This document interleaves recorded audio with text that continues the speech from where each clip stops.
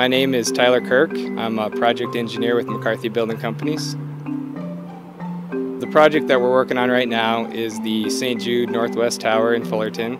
It's essentially a $250 million hospital and it's comprised of a kitchen and cafeteria on the first floor, uh, ORs on our third floor, and then patient rooms on our fourth and fifth floor.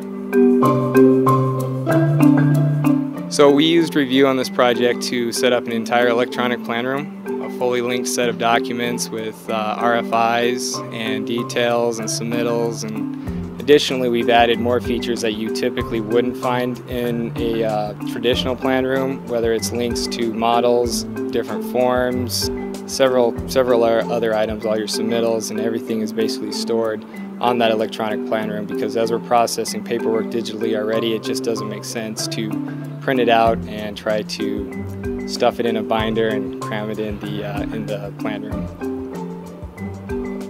So one of the major issues we've had on the project that Bluebeam has been able to uh, help us resolve is, is getting our electronic plan room out into the field.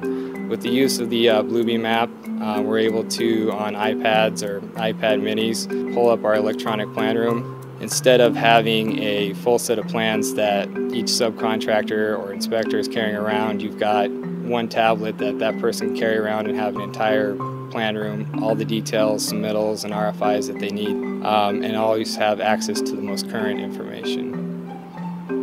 Additionally, we've actually moved some of our mobile kiosks um, out into the field. The availability of information by being able to hyperlink all the drawings and all the detail callouts and all the sheet callouts makes it very easy for anybody to pick it up and navigate through the plan room.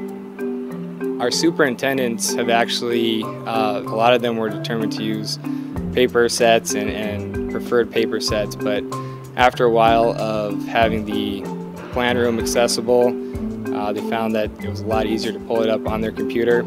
If you're working in a paper plan room, and somebody's looking at a set of drawings, you're going to have to wait for them to finish. But because we have our electronic plan room shared between not just our office but the subcontractors, everybody's able to pull up the same document if they need to at the same time and work off of that same file. Uh, additionally, we're using Bluebeam Studio to do a punch list and open issues log with uh, our major subcontractors. And what we do is on our floor plans, we will make uh, notations and in the markup summaries identify who's responsible and what the issues are.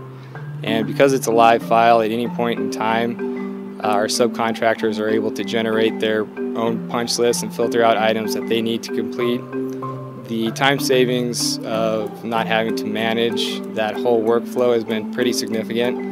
Uh, everywhere from the office staff to the foremen are able to use uh, Bluebeam Revu, whether it's on iPads or on their computers, to uh, manage their um, open issues logs and track their items and identify other items that they need other trades to complete for them. I'd have to say, uh, out of all the programs we use and all the different softwares, Bluebeam has by far been the most used tool uh, by almost everybody in the office. Uh, it's something at, at this project, um, I don't think anybody could go without it. The efficiencies that everybody has recognized from it are pretty incredible all around.